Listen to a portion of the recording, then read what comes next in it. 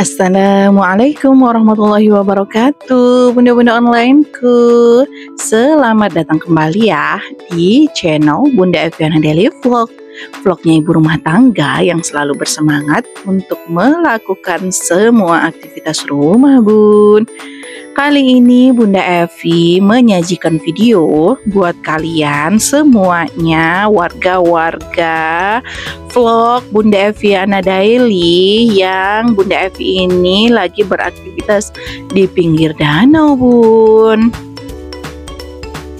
Ini adalah kebun sekolah yang kitanya tuh sore-sorean kayak gini pengen jalan-jalan mengunjungi kebun tapi sebelum beraktivitas di area kebunnya kita mau makan dulu ya.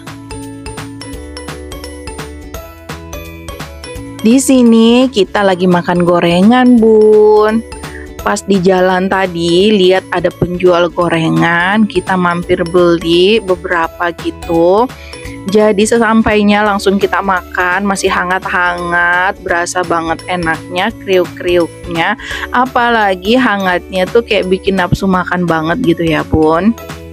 Masya Allah tabarakallah makannya tuh sambil ngeliatin pantai, ombak-ombak ringan dan juga sinar matahari karena kita merasa sinar mataharinya cukup menyengat dan juga silau banget gitu jadi kita memutuskan untuk pindah tempat mejanya kursinya dan makanan kita juga dipindahkan Siang tadi juga Bunda Evi masak opor ayam, opor apa kari sih ya, kayaknya salah satunya lah, tapi yang jelas makanan bersantan gitu. Bunda Evi masak karena emang niatannya mau ke kebun lebih awal, agar entar tuh kita nggak makan malam lagi, jadi judulnya makan sore gitu.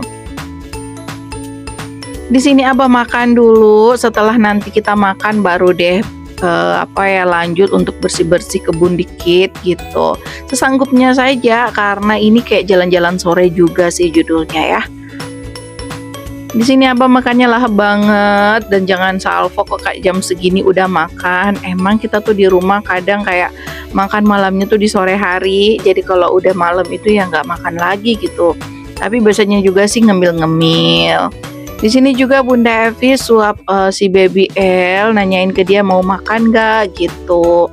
Karena kalau di kebun biasanya dia suka makan bun. Bunda Evi minta dia untuk segera makan tapi masih mau lari-larian, masih mau main, ya sudahlah. Yang ngelahapin makanannya mah abah aja gitu ya. Oke deh bunda-bunda onlineku setelah selesai makan kita mau lanjut untuk pungut-pungut ranting dan juga rumput-rumput yang bisa untuk dicabut ya dicabutin aja. Anginnya lumayan kencang sampai tripod bunda itu kayak goyang-goyang gitu ya. Jadi jangan salfok lah ya kenapa kayak ada getaran-getaran? Bukan shy bukan gempa bumi tapi memang itu karena faktor kencang anginnya BBL juga naik. Dari bawah area tempat kita makan tadi dianya naik gitu. Mungkin karena kesunyian ya sendiri di bawah. Jadi ya sudah naik juga ke atas. Kita bareng-bareng bersih-bersih. Abang mengutin ranting-ranting ya. Bunda Evi juga ikutan dong. Alhamdulillah sejauh ini sudah sangat lumayan lah ya yang kita kerjakan ngebersihin, bakar-bakar sampahnya, rantingnya dan juga sudah menanam. Kalau kalian lihat vlog kemarin tentunya semangat lah ya ngeliatin tanaman kita yang sudah tumbuh. Alhamdulillah. Walaupun kita tanam dua jenis tapi yang tumbuh itu cuma satu jenis saja Kita tanam bayam dan juga kangkung Bayamnya nggak tumbuh entah kenapa Tapi kalau kira-kiranya sih kayaknya kurang air. Tapi kalau bayamnya eh bukan kangkungnya lumayan sih ya. Walaupun nggak terlalu banyak Tapi kelihatan kok kalau ada yang tumbuh. Semoga bisa panen segera. Menanam sayuran itu tak semudah yang dibayangkan sih. Tapi lumayan lah ya setidaknya effort kita untuk menanam itu sudah ada pun apa pun hasilnya itu ya dari Allah lah ya. Mau kayak gimana nanti tumbuhnya? Mau besar mau langsing mau gendut mau kayak gimana diterima aja lah. Karena usaha kita juga udah yang kayak maksimal banget semampu kita untuk datang siram walaupun jaraknya jauh banget. Jadi dari rumah ke kebun itu sekitar kayak berapa ya?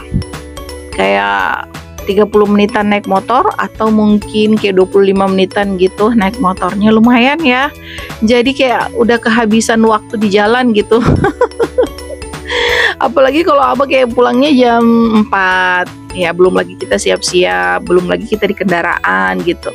Jadi maksimalnya kita di kebun itu kayak sekitar 60 menit atau kayak 70 menit ya udah pulang lagi gitu bun Kalian senang nggak sih ngeliatin pemandangan kayak gini bunda-bunda onlineku? Ada kebun merica, ada danau yang indah, pesisir danau yang menyenangkan hati. Masya Allah, tabarakallah. Doa yang terus melangit kami minta kepada Allah semoga di tempat ini segera berdiri bangunan tempat belajar ini adalah laboratorium sekolah atau selalu kita sebut juga dengan green lab untuk anak-anak belajar.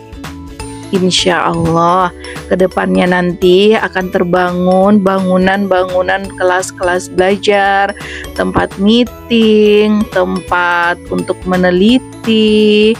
Insya Allah ya, mungkin prosesnya akan panjang, tapi di tengah-tengah proses itulah syukur harus selalu ada walaupun mungkin perlahan, walaupun mungkin butuh waktu yang lama, tapi insya Allah waktu yang lama ini akan mengajarkan kita banyak hal ya mempersiapkan diri saja untuk ke depannya seperti apa nantinya.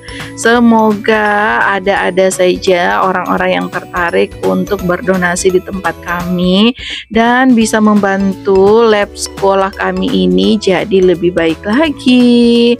Jadi ada ruang kelasnya jadi ada fasilitas untuk belajarnya.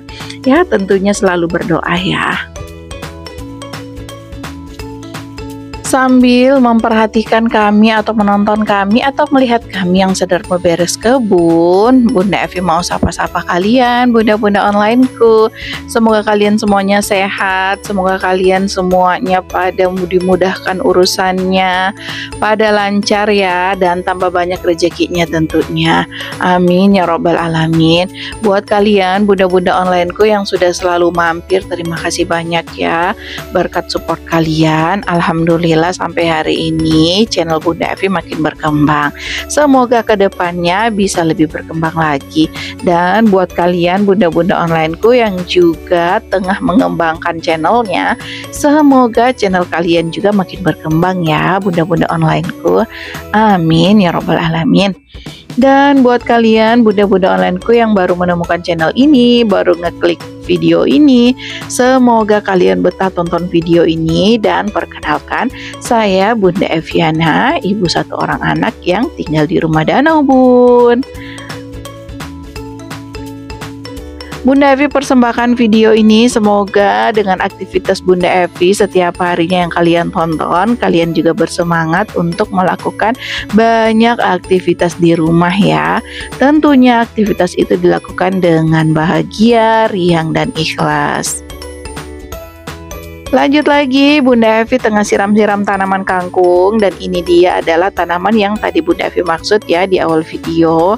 Sudah tumbuh alhamdulillah. Dan semoga beberapa hari ke depan bisa lebih banyak daunnya, bisa lebih tinggi, bisa lebih gemoy-gemoy, Bun.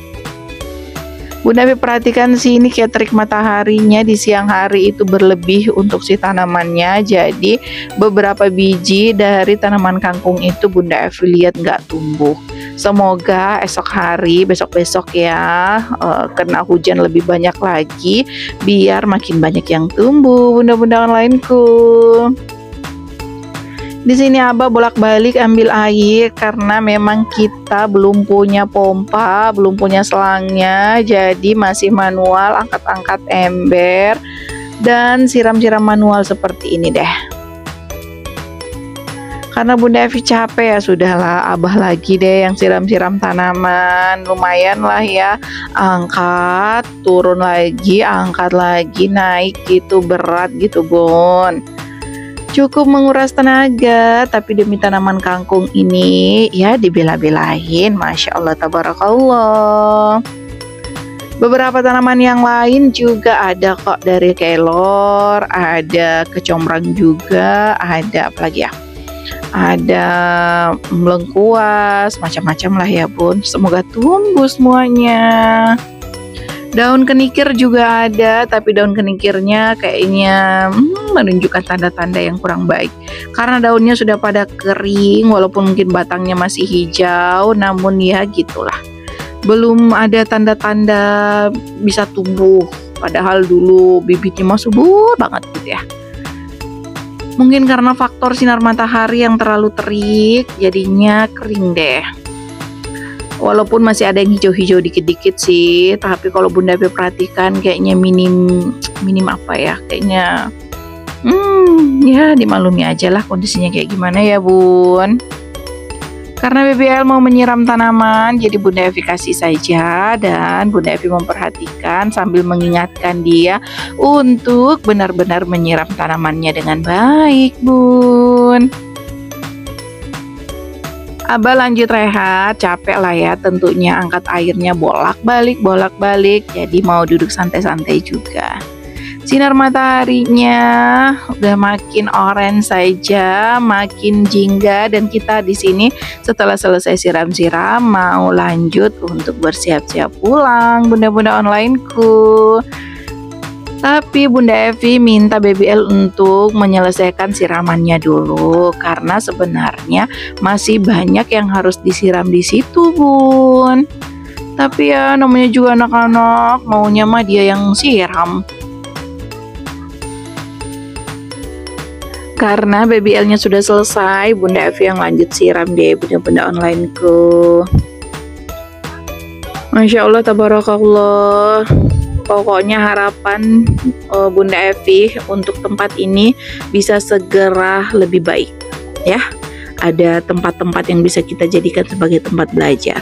Dan Abah lanjut siram-siram sisa tempat pembakaran yang kemarin karena debu pembakarannya itu banyak banget dan lumayan mengganggu karena itu ya e, debunya berterbangan kalau kena angin itu sisa pembakaran yang harus benar-benar dibersihkan dan Bunda Evi lihat debu-debunya tuh sampai ke danau juga tapi insya Allah aman karena nanti akan jadi endapan tanah.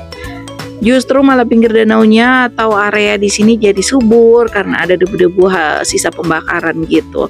Abah siram sampai benar-benar bersih bunda-bunda onlineku karena kalau nggak dibersihkan anak-anak nggak tenang main di sini tentunya nggak aman juga. Nanti kalau kehirup ya berbahaya kan kalau ke hidung. Jadi ya Bunda Evi minta Abah saja untuk benar-benar ngebersihin. Cukup menguras tenaga, angkat-angkat embernya. Masya Allah, tabarakallah. Oke deh bunda-bunda onlineku tak terasa kita sudah berada di penghujung video. Insya Allah kita akan bertemu lagi di video Bunda Evi berikutnya. Dan bagi kalian yang selalu pantengin video Bunda Evi terima kasih banyak ya. Insya Allah kita akan bertemu lagi di video Bunda Evi berikutnya. Jangan lupa untuk subscribe, like, dan komen juga bunda-bunda onlineku.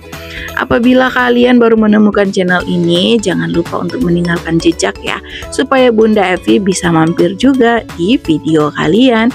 Wassalamualaikum warahmatullahi wabarakatuh.